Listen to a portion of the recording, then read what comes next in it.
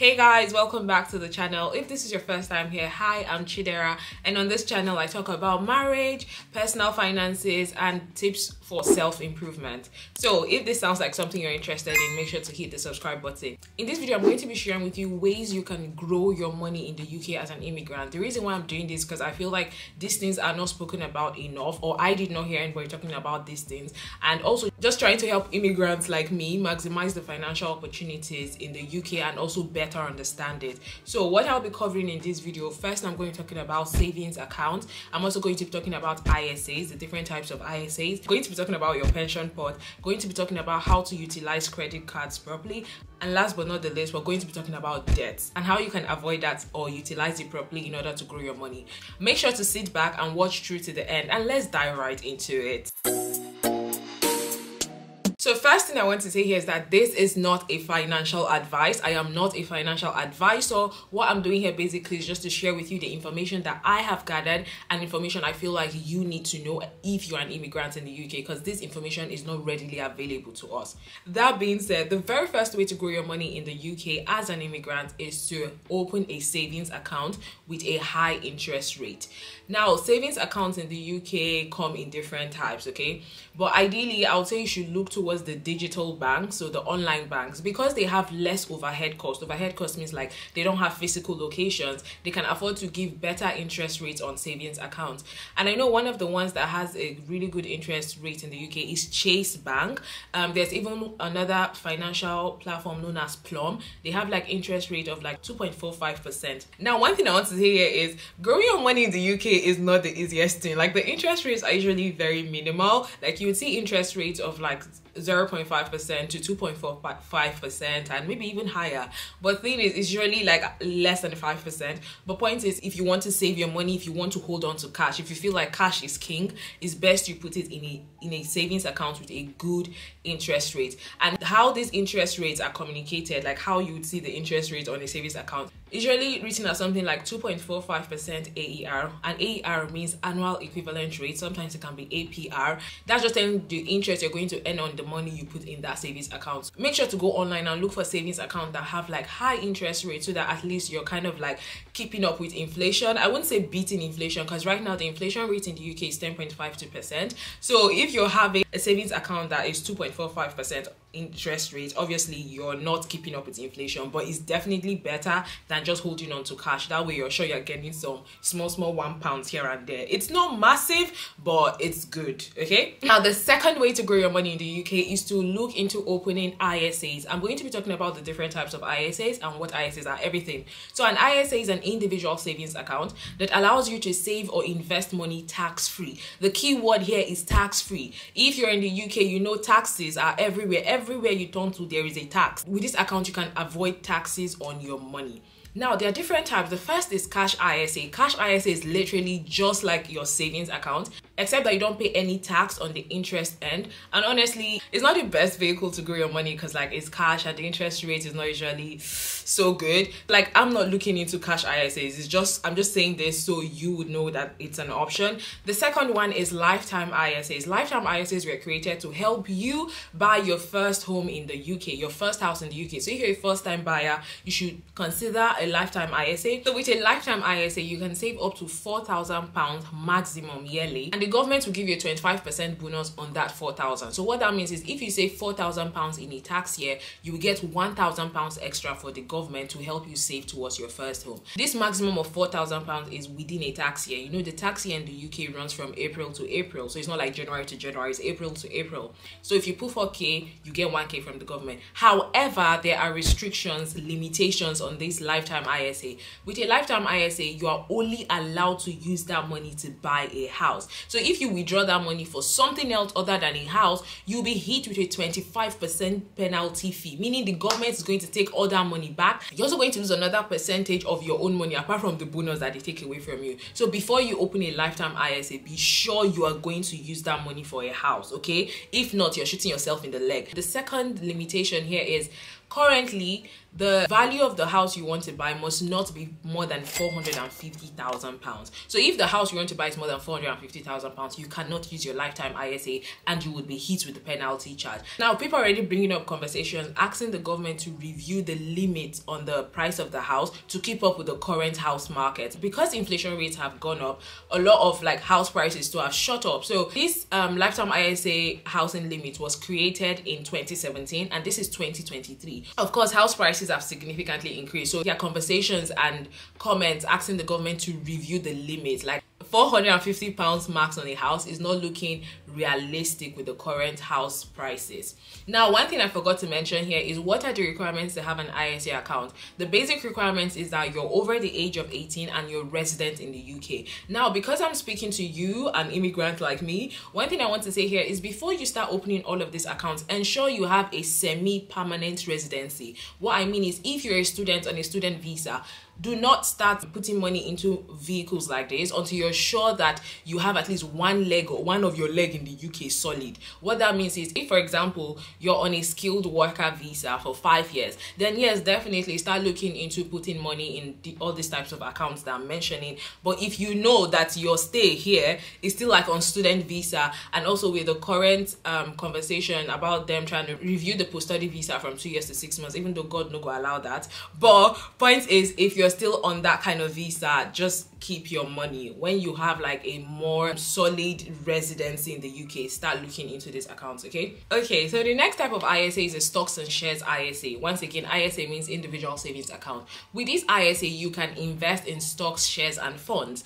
And there's a maximum amount you can put into this stocks and shares ISA yearly, and it is £20,000 for each tax year. And don't forget, whatever interest or dividend you earn from your stocks and shares via a stocks and shares ISA, you don't get to pay tax. That's just the cool thing. You don't get to pay tax on your interest and um, dividends. So what I would say is try to look into opening stocks and shares ISA so you can start investing money. Having a stocks and shares ISA is one of the best ways to grow your money in the UK. Also, with the lifetime ISA, it's been brought to my notice that not every bank in the UK is currently offering this. And honestly, I'll just say you should steer clear, like stay stay away from regular banks when you're trying to look for a lifetime ISA. Um, I know that some financial companies like investment companies and all of that, they are still offering the lifetime ISAs, but there are some banks I think like Lloyds or is it Barclays? Someone brought up to me that they tried to contact the bank and ask for the lifetime ISA and they say they are not able to offer that at the moment. So make sure you look around. It must not be with your bank that you have that lifetime lifetime ISA if it's something you're looking into opening. Now, the third way to grow your money in the UK is pensions, okay?